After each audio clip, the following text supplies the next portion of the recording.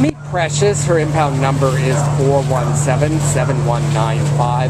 And Precious is a precious eight-year-old female Chihuahua who came into the Downey shelter on really sad circumstances on May 18th. Uh, her former owner uh, is terminally ill and could no longer take care of the pets.